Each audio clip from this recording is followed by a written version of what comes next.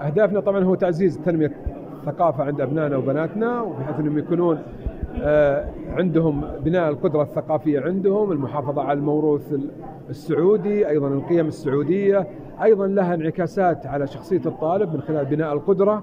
عند أبنائنا وطلابنا تعويدهم على الالقاء، تعويدهم على الوقوف المسرح، كيفية التعبير، أضف إلى ذلك إنه بيكون داعم للمنهج التعليمي بشكل وآخر، آه، كل هذه تكون عندنا في النهاية بناء القدرتين، القدرة القدره الطلابيه في بناء الشخصية وأيضا التنمية والمحافظة على القدرة الثقافية عند أبنائنا وبناتنا. نعم في الاستراتيجية مع زملائنا في وزارة الثقافة إن شاء الله بعد إطلاق الاستراتيجية بيكون في مجموعة من المناشط اللي تدعم هذه التوجهات بحول الله. اليوم مو نش... إن نفكر اليوم إنه يكون جزء من الثقافة داخل المدرسة تكون المسرح المدرسي جزء من الثقافة والعادة والممارسات التقليدية داخل المدارس إن شاء الله. بصفة شخصية نعم لكن هذه أنا أعتقد كثيرين يشاركون مثل هذا الحلم.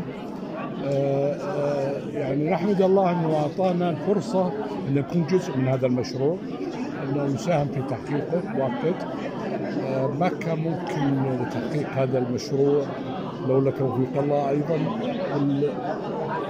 الرغبة الصادقة والدعم والدعم من من القيادة قيادة المملكة رؤية المملكة 2030 كانت واضحة بأن تكون الثقافه جزء من جودة الحياة الناس.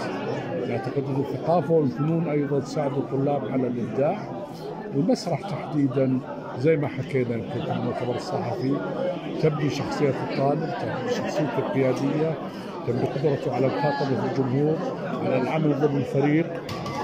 وهذا كله هذه قيم تربوية بالأساس.